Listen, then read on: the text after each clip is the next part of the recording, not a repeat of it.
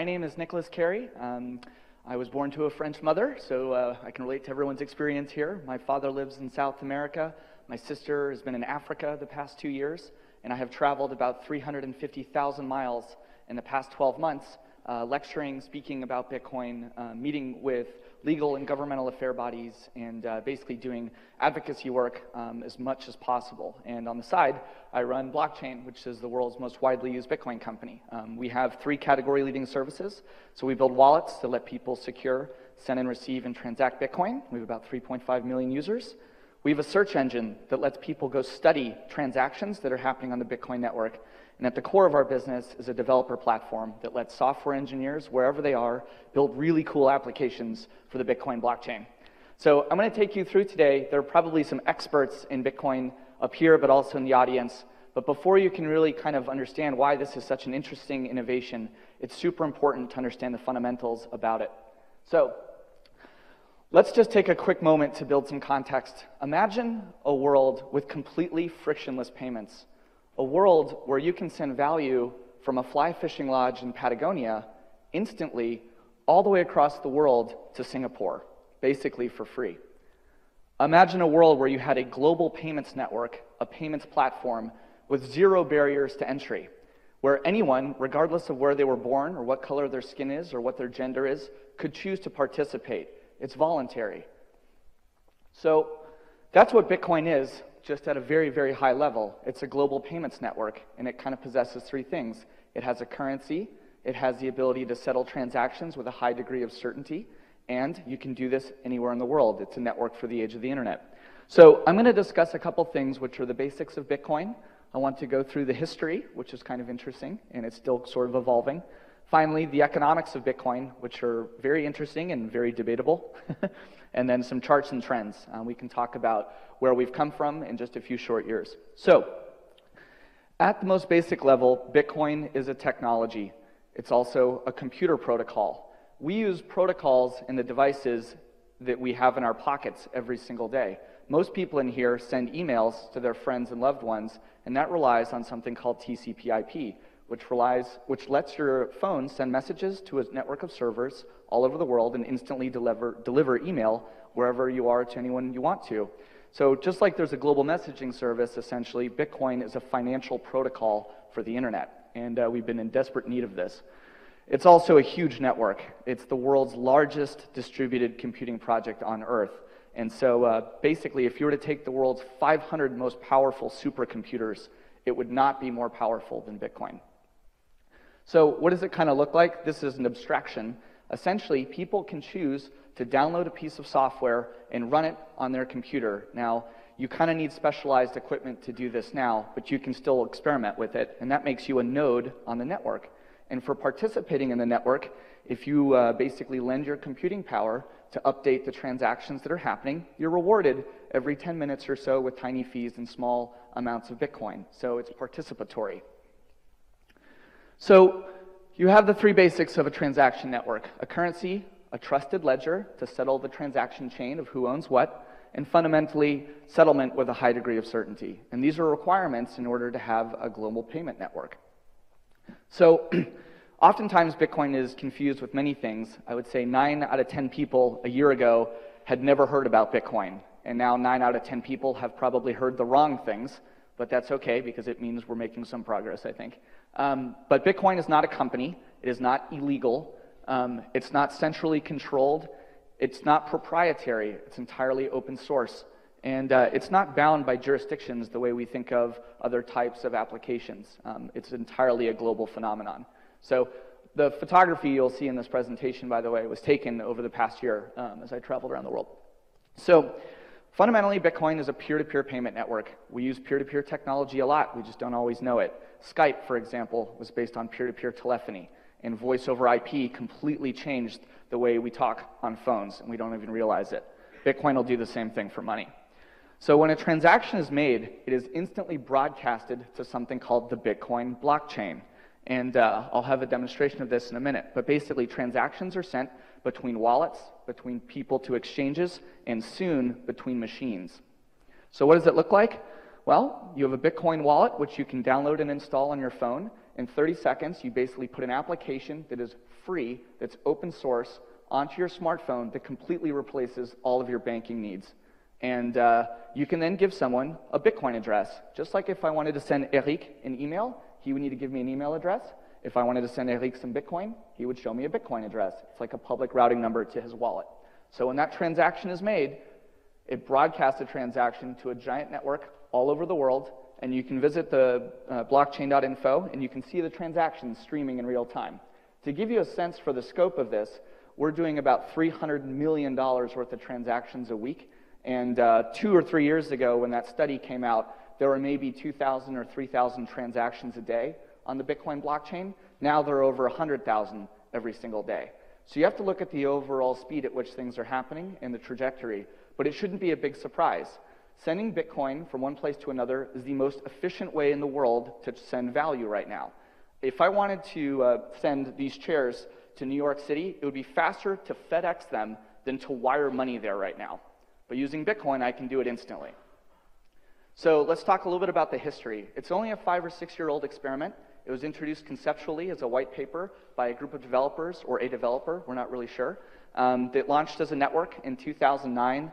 In 2010, some basic marketplaces formed and people were discussing Bitcoin, but the people that were doing this were cryptographers and computer scientists, really, really nerdy people.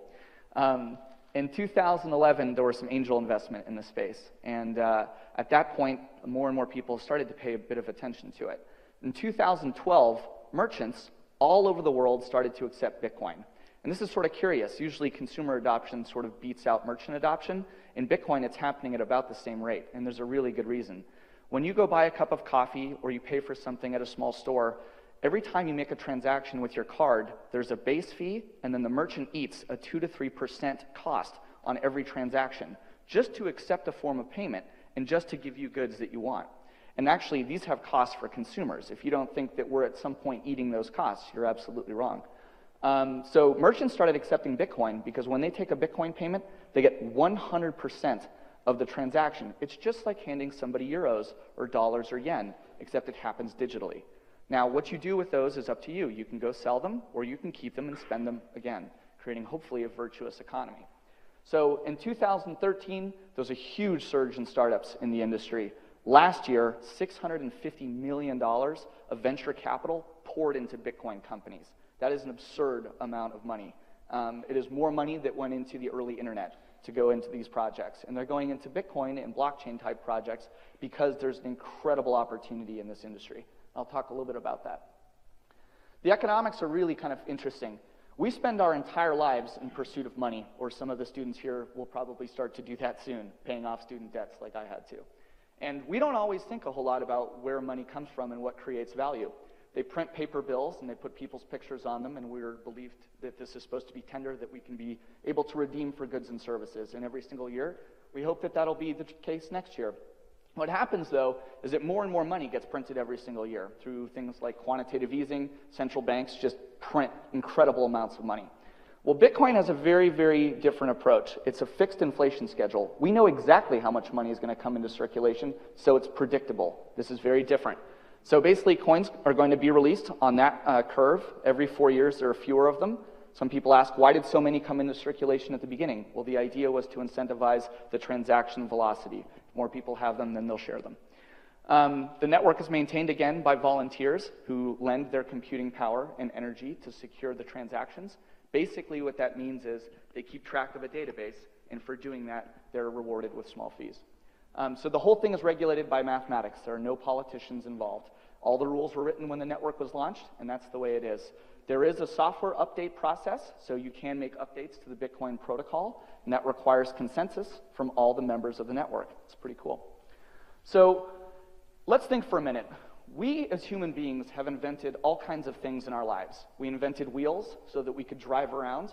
We invented shovels so we could dig holes, and then tractors so that we could build roads, right? We do things to create more efficiencies. Why can't we create a better form of money? Well, let's think about it. For the age of the internet, what kind of properties would you want a money to have? You might want your money to be easily uh, able to divide and recombine. It, you would want your money to be impossible to counterfeit. You want your money to be durable. Paper money is sort of ridiculous. If you wash it, it gets destroyed, it can burn in a fire. Um, how about money that you could instantly redeem on any smartphone with a secret passphrase? So even if you chuck your phone into the Seine or, uh, or have an accident with it or drop it, you don't lose your money. All those things are possible. In the age of the internet, you'd really want to be able to send that money anywhere in the world instantly, basically for free, allowing you to create relationships which essentially almost all human interactions at some point fundamentally come down to transacting. If you can bring everyone into the sphere of economic influence of the internet, then you're onto something very powerful. Well, Bitcoin does that too. And for the first time, Bitcoin is the only transaction network with something that has zero counterparty risk. So right now, if I have a deal with Eric and he provides some consulting services to me and I ask for a payment, let's say I take a credit card payment, well, I, he could issue a chargeback. So he could do the work and then get his money back. That's kind of a problem. And uh, because of all these types of intermediaries, whether it's credit card companies, merchant processors, banks, there's tons of friction in every transaction that happens. And that doesn't need to be the case. Peer to peer transactions are much more frictionless and therefore have lower costs and are basically better for everyone on both sides. So I submit that if you were to design a currency, Bitcoin would be an interesting experiment for the age of the internet. Is it perfect? Probably not. But there are going to be many, many other experiments in this industry as well. So um, where are we today? Um, this is some high level information. The overall network is worth about $3.35 billion. So this is actually not that big. Um, a skyscraper in London is more valuable than the entire Bitcoin network right now. So just to put things in context, we have a lot of work to do. But that's the transaction volume. You'll hear people talk about the price of Bitcoin and what, what that is today because it's a currency and it has value. That's not that interesting to me. What's interesting to me is whether or not people are moving it around. So um, that study that was conducted a few years ago happened when you can see very, very basically there's very small transaction volume. Week over week, we're hitting records. So that means more and more people are starting to adopt and use Bitcoin to send value. So I find the, the uh, most interesting metric is just basically transaction volume. So, so what? Why are people all over the world talking about this? Why is Goldman Sachs and BBVA and NASDAQ and most of the venture capital firms in the world, Richard Branson and others, put money into Bitcoin projects? Microsoft, Dell, Overstock, OKCupid, WordPress, Wikipedia all accept Bitcoin as forms of donation and for payment. They're doing it because it's the world's first, first scarce digital commodity. They can accept a payment with zero counterparty risk. They get 100% of the payment. There's no fraud. And uh, basically, it allows them to send value anywhere in the world instantly, basically for free. So, at its core, here's kind of where we are. Um, when the protocol was launched, the people that were building that were software programmers and cryptographers and developers, and they're still doing that. They're volunteers to participate and basically maintain the core code base. There was a wave of builders. These were sort of the, uh, the early startups in the industry, building things like exchanges and wallets, consumer services, merchant services, mining services, and more. These are sort of the new verticals of future finance. And then uh, the next wave of innovation, which we'll hear about soon. Oops, sorry. the next wave of innovation we'll hear about soon um, will be all kinds of really fascinating applications. If you take out an intermediary between a transaction, money is just the first experiment. What if I could get rid of all kinds of other intermediaries?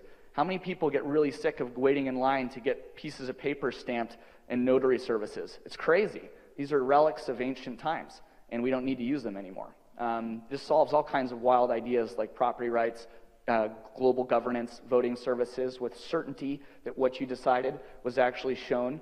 Um, we'll look at some of those examples soon. So this is the, the investment landscape. Um, basically, there's been a huge amount of money poured into this. If you think that Bitcoin is sketchy, maybe that's uh, something that uh, you should reevaluate. The companies that are accepting Bitcoin have hundreds of billions of dollars of market capitalization. They don't do things when there's reputational risk. They make investments and votes of confidence when there's really interesting things happening. So there's been a massive amount of movement in this industry. It's still going very quickly, and you will see more and more names added to this list over the next 12 months and coming years.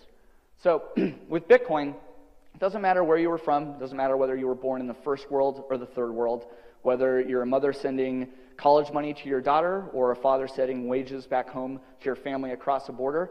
This is the most important innovation since the internet. And the reason is because people have financial independence to transact with whoever they want without somebody telling them what they can and can't do. And it's a really big deal. Um, I want to talk just quickly before I hand this over, and we'll be excited to have conversations about any questions you have. Um, but there's a story I want to share real quick. And uh, basically, when I was in Morocco um, last year with my sister, we went out into the desert and uh, we had a Berber guide that was taking us um, into the dunes. And we hadn't seen an electrical system or any sort of sign of civilization uh, for a while. And uh, we're watching the sunset. It was absolutely beautiful. And in that moment, the whole thing was ruined when our guide, who sells rocks and polished geodes for a living, pulls out his iPhone 5 and answers his phone in the middle of the desert. And that guy has access now to a financial service and a financial network that is more efficient than hedge fund managers and more efficient than the ones that Fortune 500 CEOs have access to. So think about that for a minute. If you can put software on someone's phone that replaces banking functions, it's a really big deal. Um, five weeks ago, Goldman Sachs, uh, the largest investment bank in the world, released a report that said that 33% of millennials do not expect to have a bank account in five years. So if millennials don't expect to have a bank account in five years, and there are 2.5 billion people that don't have bank accounts whatsoever, and there are 4 billion people with no credit cards, how are they going to get their financial and banking services in the future? Well, I submit that Bitcoin and blockchain type services and software are going to solve a lot of these problems. So, anyway, let's open this up for discussion. Bitcoin is not perfect. I will submit that, and uh, I'm sure we'll hear some really interesting arguments for why, and then I'll counter those to the best of my ability. and uh, thank you.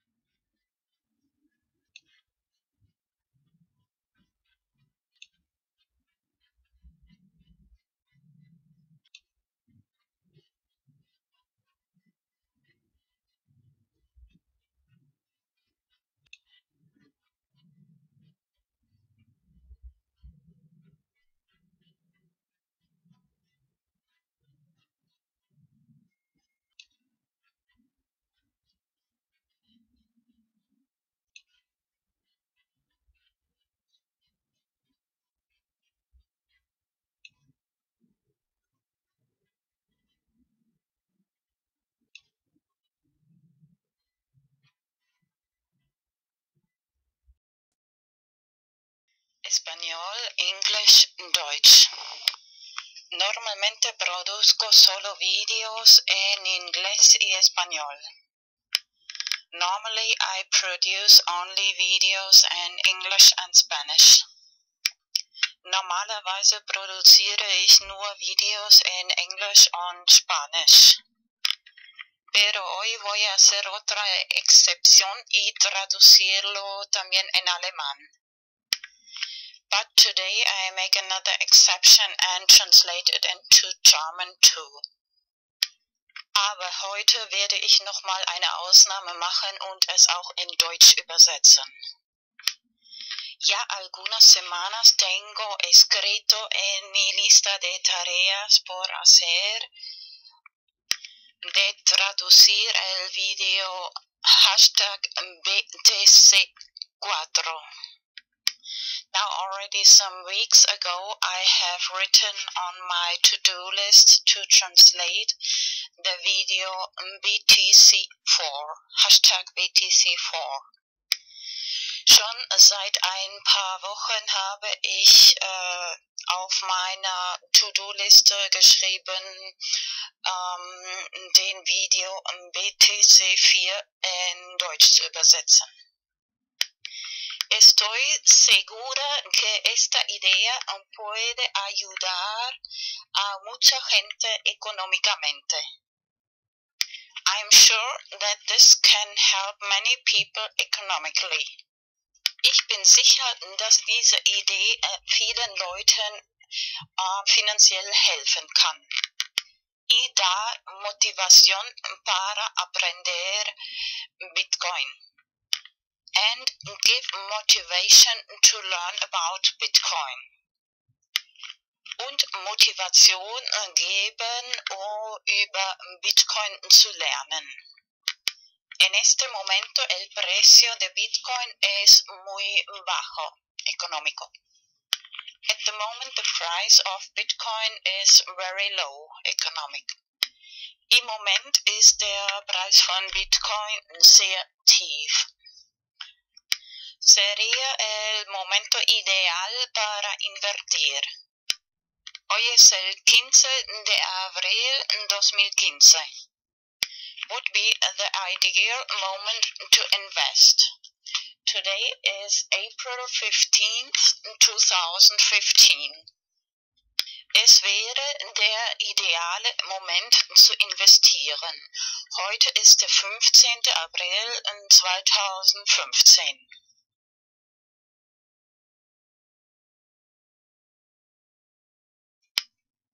El 27 de marzo 2015 he publicado en mi canal de YouTube Vanos Enigma el primer vídeo sobre hashtag BTC4 explicando cómo me vino esta idea.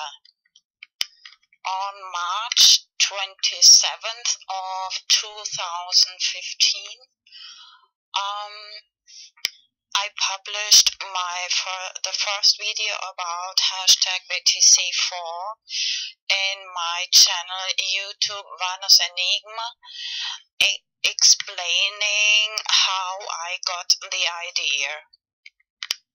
Am 27. März 2015 habe ich in meinem YouTube-Channel Vanos Enigma den ersten den ersten Video über Hashtag BTC4 veröffentlicht und äh, erzählt, erklärt, wie ich diese Idee bekommen habe. La idea consiste principalmente en lo siguiente. The idea mainly consists in the following. Die Idee besteht hauptsächlich in folgendem. folgendem. Imprimir direcciones de Bitcoin en papel, 10 o mínimo 10 o mejor 100 to print Bitcoin directions in paper, at least 10 or better 100.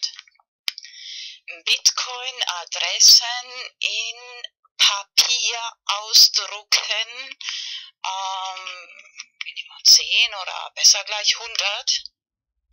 Y luego poner en cada dirección de Bitcoin una pequeña cantidad de Bitcoin. And then put in every Bitcoin direction a little amount of Bitcoin. Und dann in jede Bitcoin-Adresse eine kleine Summe von Bitcoin transferieren. Y la próxima vez, cuando otra vez ves una persona por la calle pidiendo dinero, and the next time uh, you see again a person begging for money on the street, und das nächste Mal, wenn du wieder eine Person auf der Straße betteln siehst, y para tus amigos y amigas, and for your friends, of course, und für deine Freunde natürlich, o tal vez eh, de propina en un restaurante, or maybe a tip in a restaurant, oder Trinkgeld im Restaurant. Bueno, a la hora de imprimir también copiar y guardar las llaves privadas de Bitcoin, de direcciones de Bitcoin. Or when you print the Bitcoin addresses copy and save the private keys of the Bitcoin addresses, of course. Wenn man die Bitcoin-Adressen druckt, auch die äh, auch die privaten Schlüssel, Bitcoin-Address-Schlüsseln ähm, kopieren und speichern. Y a la hora de distribuir las direcciones de Bitcoin, escribir la fecha, por ejemplo, hoy es el 15 de abril 2015, escribir la fecha más plus cuatro años. Eh, igual 15 de abril 2019. And then in the moment when you distribute uh, the Bitcoin addresses, and you write the date, for example, today, April 15th, 2015, plus, plus four years uh, is April 15th, 2019. Und dann in dem Moment, wenn man die Bitcoin-Adressen verteilt, auf das Papier schreiben, das heutige Datum, zum Beispiel 15. April 2015, plus vier Jahre ist gleich 15.04.2019. Luego vas a explicar a la gente, mira, esta es la llave privada, tú y yo la tengo, la tienes. Si no quitas, transfieres este dinero de Bitcoin eh, en estos cuatro años, yo lo vuelvo a tener, tener o sacar. Then you explain to the people, look, this is the private key. I have it and you have it. If you don't take this money, Bitcoin, out of this account, I will take it out in this um, in these four years, at the end of these four years. Und dann erklärst du den Leuten, schau, das ist der private Schlüssel. Ähm, ich und du haben diesen privaten Schlüssel, Bitcoin-Schlüssel.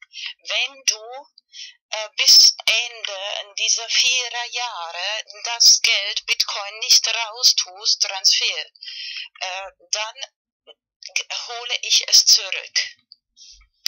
De esta forma das más motivación a la gente para empezar a aprender cómo funciona Bitcoin. This way, you give more motivation to the people to learn how the technology of Bitcoin functions. Auf diese Weise gibst du mehr Motivation den Leuten zu lernen, wie die Technologie von Bitcoin funktioniert. En mi video antiguo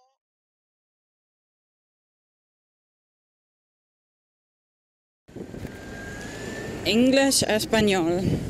Video mix number 25, video mix número 25. This time I want to talk especially about hashtag JCCVW, which I created some time ago, abbreviation for Justice, Court, Comedy, and Virtual Worlds.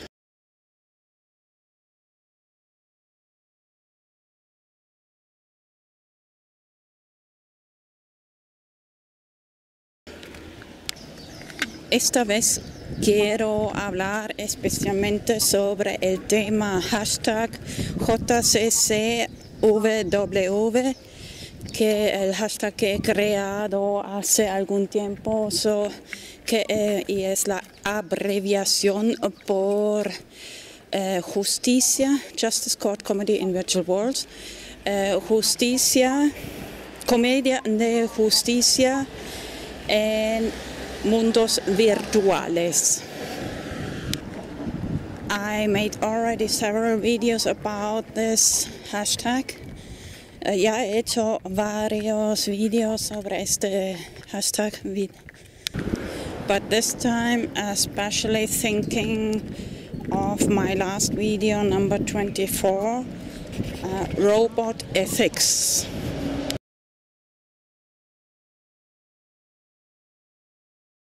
Pero esta vez especialmente pensando en mi último video, uh, video mix número 24, Robot Ethics, e ética de robots. First, I want to mention uh, the episode of Simpsons Treehouse of Horror number 13. Primero quiero men mencionar el, el, epi el, episodio de Simpsons número 13, Treehouse of Horror número 13. Just a side note, it's uh, astonishing uh, now many years in Spanish TV uh, and at lunchtime and in the evening they are still showing about half an hour or more uh, Simpsons, many years now. Uh, es asombroso. Um, ya muchos años que por el mediodía y también por la, por la noche enseñan por lo menos media hora de los Simpsons en la televisión española. Did you hear of the term Simpsonology? ¿Has oído de, del término Simpsonología? O Simpson, Simpson, Simpsonology. Simpson, Simpsonology. Maybe I'll check out if it in Spanish Simpsonología. Todavía. Long story short, the moral of the this episode of The Simpsons, the animals have more ethics than humans. Resumiendo este episodio Los Simpsons, uh, los animales tienen más ética que los humanos.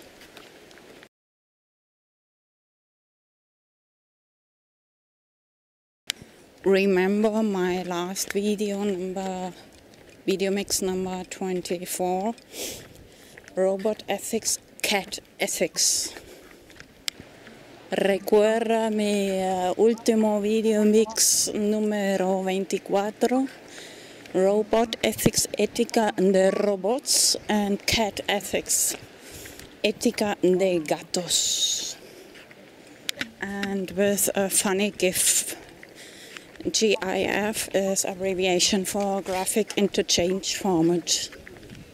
Y con un gracioso GIF. GIF. Maybe it's a little helpful, helpful to compare robot ethics and cat ethics.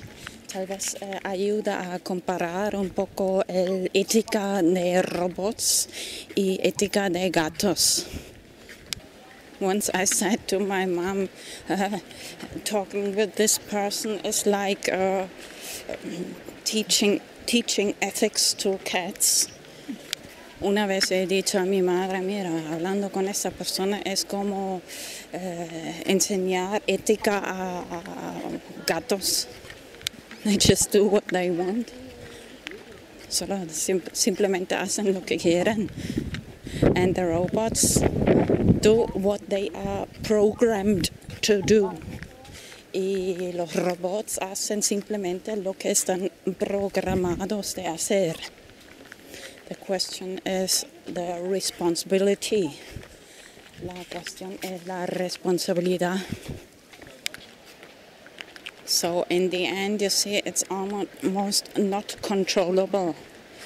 Así que verás que al final no es controlable.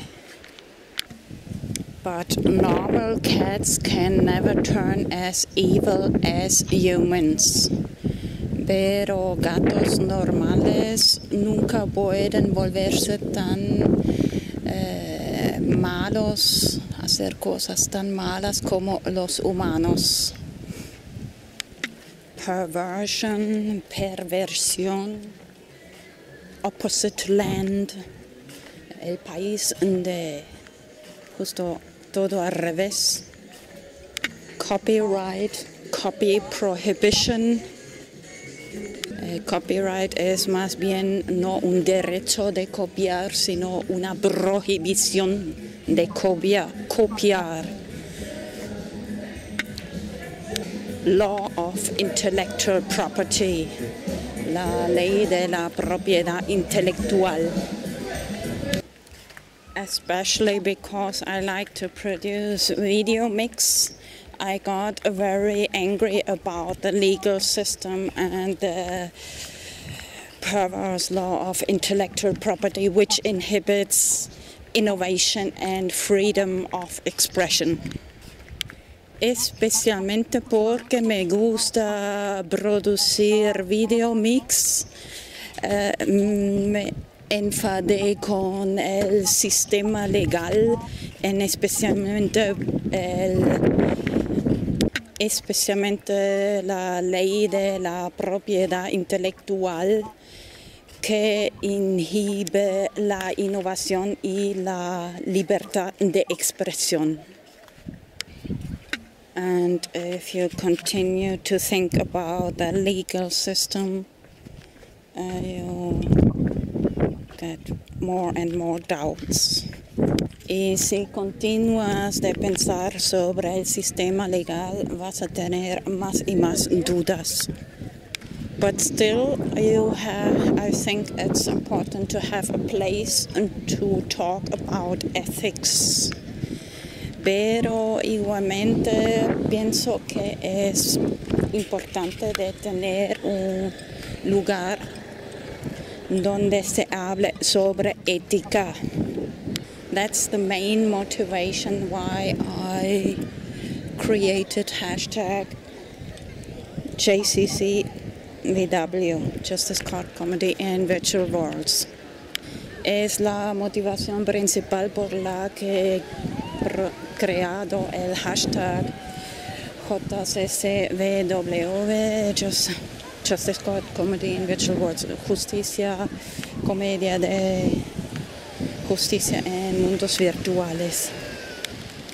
Even on my main Twitter account, Vanos Enigma, the cover picture, uh, I've got written justice. Who has the right to judge? Who is without sin? Cast the first stone.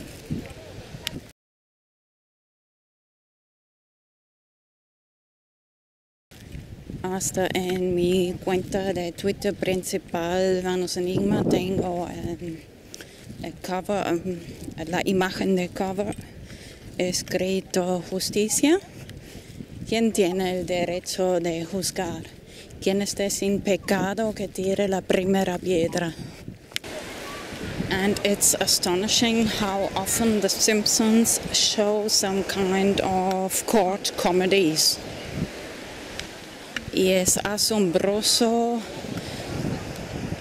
cuántas veces en los Simpsons enseñan algún tipo de comedias de juicios.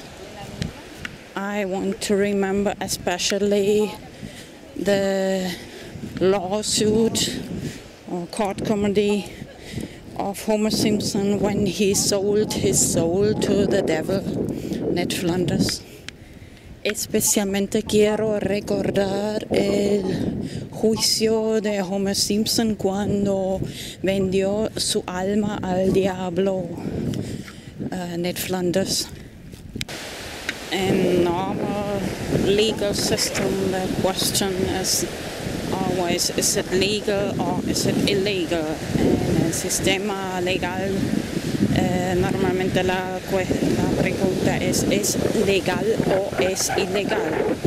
But it's more important to ask is it, is it ethical, is it right or is it wrong?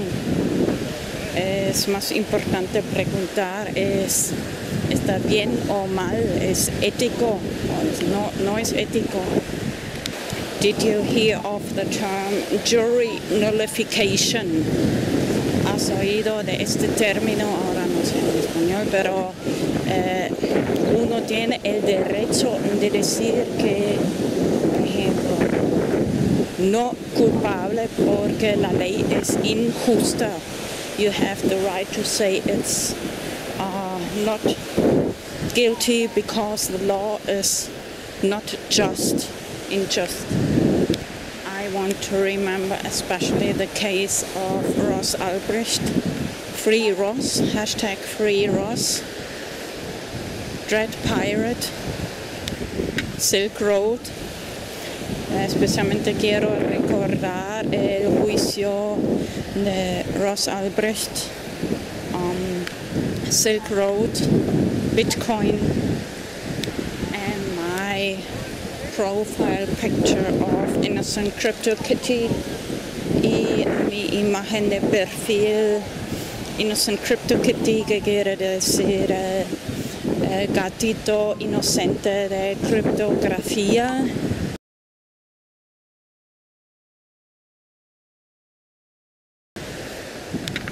But it's medical catnip.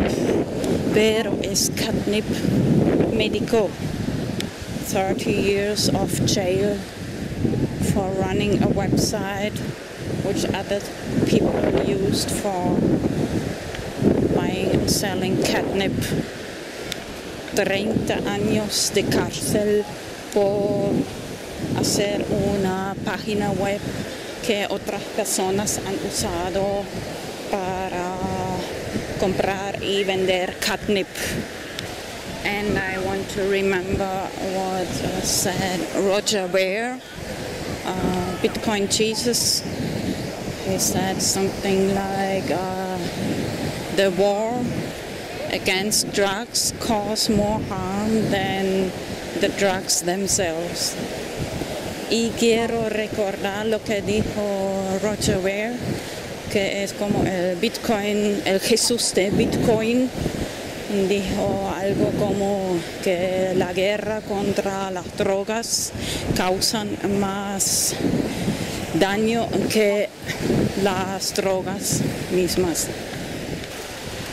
Okay, let's go back to even if you would have, want to have a person like ah, and not just Roger Ware, uh, the case of Charlie Schrim, another Bitcoiner a very interesting case too and one interview.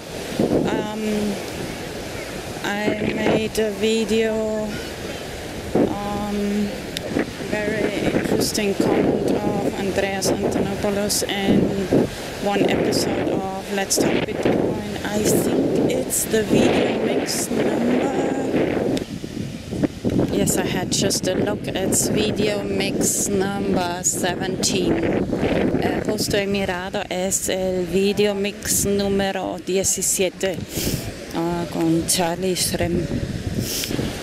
Uh, this comment I like too much, so I will paste it. Just paste it here. Este comentario me gusta demasiado, así que uh, algunos minutos uh, voy a pegar este momento.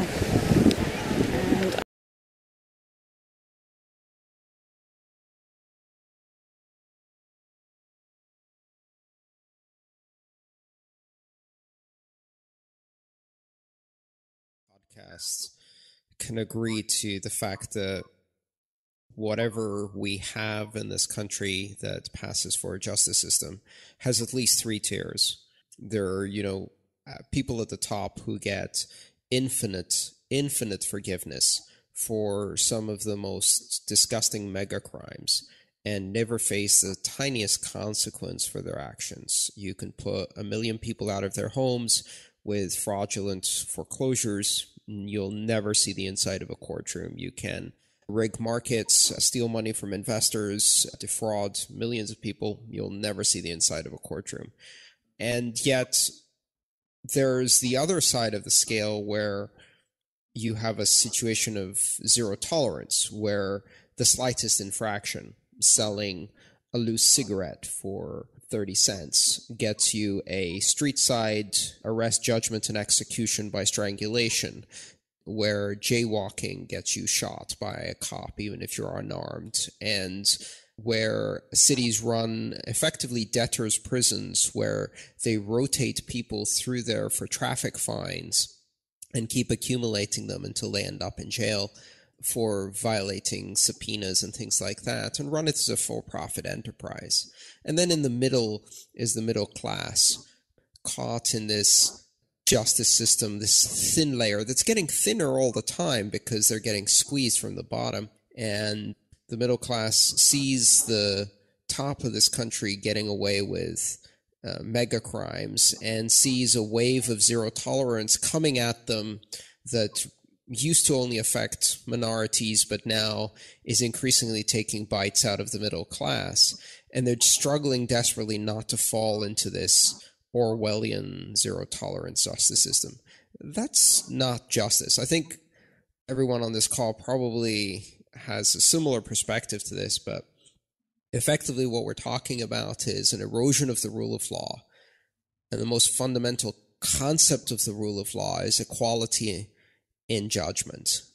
If a law exists, there is one tier. Everybody faces the same consequences for breaking that law. And that fundamental social compact has been violated. And for some stratum of the society, it never really existed. You know, some people were always going to feel the heavy boot of law um, with no recourse and um, suffered under that for 200 years. Uh, but now that is increasingly becoming the vast majority of the population. So you live in a society where the slightest mistake is very harshly punished. That's if you survive the police encounter.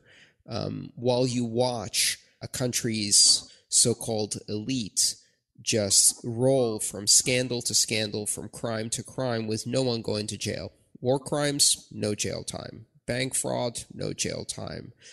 Uh, all of these things, you know, s- surveillance and violating the constitutional rights of millions of people, not even a misdemeanor issue. It just gets legalized after the fact. Lying to Congress, no problem. And then Preet, can promote his resume by going after Charlie. It's really a disgusting situation, but uh, I think it, it's it's a situation that has nothing to do with Bitcoin per se. It's just a universal collapse of justice and the rule of law in this country. One of the few countries that actually had it. As that was so well said, I have no response to it. I, I completely agree with Andreas. Everything he just said. It's it's it's not limited to to Bitcoin. It's a, it's an overall. You see it you see it with everything. I mean, look at the case of Aaron Swartz. May he rest in peace. But once they have their sights on you, telling it's you per se, I think it's what you represent or who you are.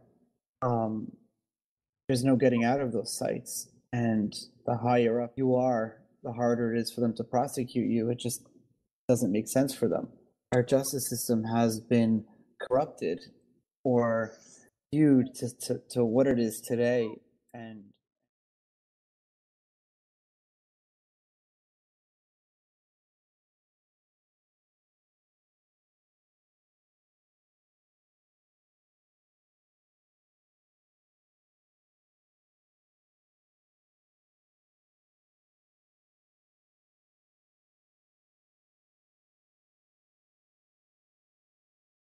I created a hashtag Let's Talk Justice, or maybe a better hashtag Let's Talk Ethics.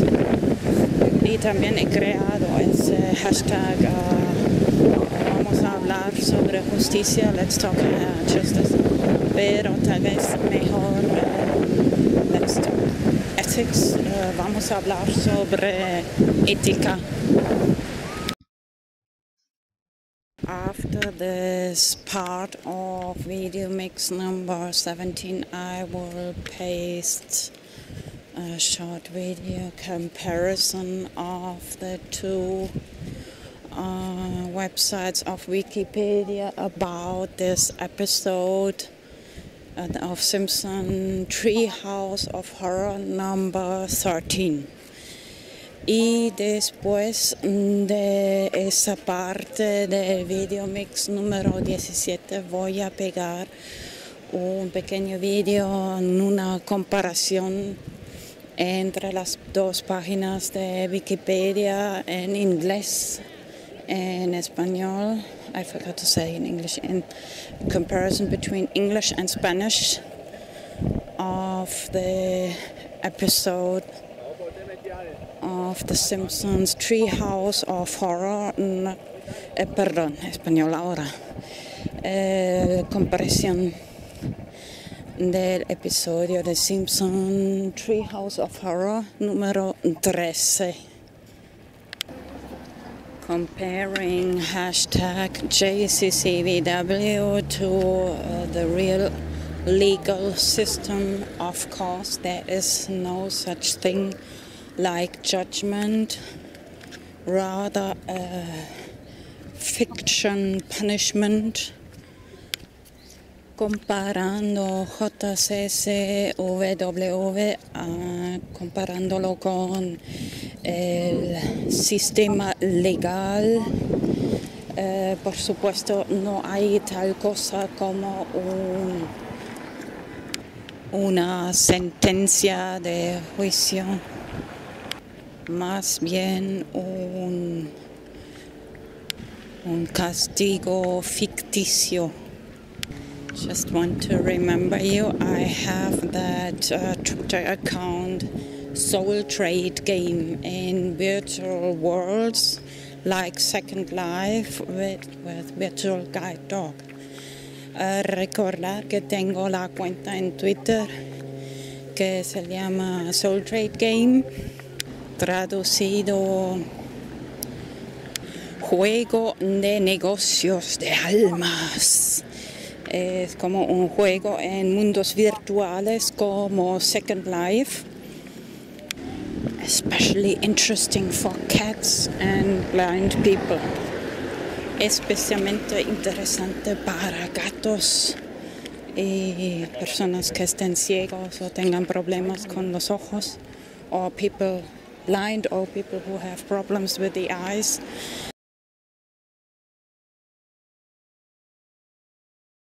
Because the anyway, watch my videos about Soul Trade Game. De toda forma, mirad mis videos sobre Soul Trade Game, juego de negocio de almas. And I have that Twitter account, Soul, uh, sorry, Soul Confiscator Catch. Y tengo este, esta cuenta de Twitter, Soul Confiscator Cat. You are welcome on all of my Twitter accounts. Normally I follow back.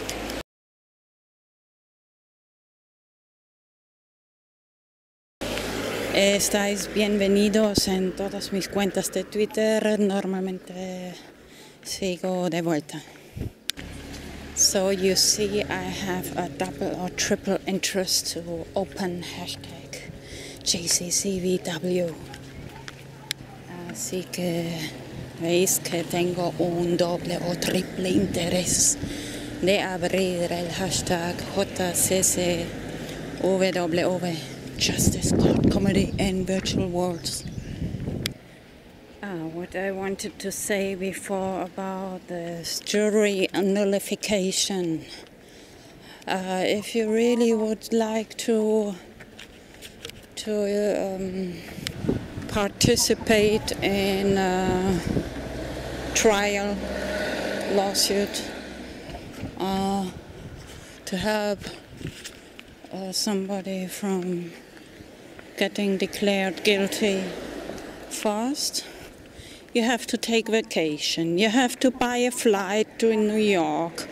And i think this trial was in january of um, free ross ross ulbricht um, silk road. So bueno lo que iba a decir antes uh, con respecto al derecho de uh, renullification en español no me acuerdo, no estoy segura, pero que tienes el derecho de decir que mira, yo estoy uh, no estoy de acuerdo que esta persona sea declarada culpable. Así que primero tendrías que tomar vacaciones, comprar un vuelo a Nueva York. Y eh, era ese juicio, me parece, era en, en, enero, cuando hizo un montón de frío. So comparing this legal system with uh, hashtag JCCVW. This is in, in, in, virtual worlds. Everybody can participate and talk about ethics, uh, right or wrong. Don't need to buy a flight to New York. Uh, comparando ahí con el sistema legal. No, eso tiene que tiene lugar en mundos virtuales, no hay que comprar un vuelo a Nueva York y tanto, tanto esfuerzo para participar en un juicio, discutir sobre ética. Puedes fácilmente participar de cualquier lugar, ordenador, P2P, and especially talking about robot ethics. This will be very important in the future. Y especialmente el tema de ética de robots en el futuro será muy importante. Because it's easy to say the person who programmed the robot is responsible for the actions, but uh, it's very easy to uh, to hide the identity who programmed the robot. Es muy fácil decir que la persona que ha programado el robot es responsable por las acciones del robot, pero es muy fácil de ocultar la identidad de la persona que ha programado el robot. So now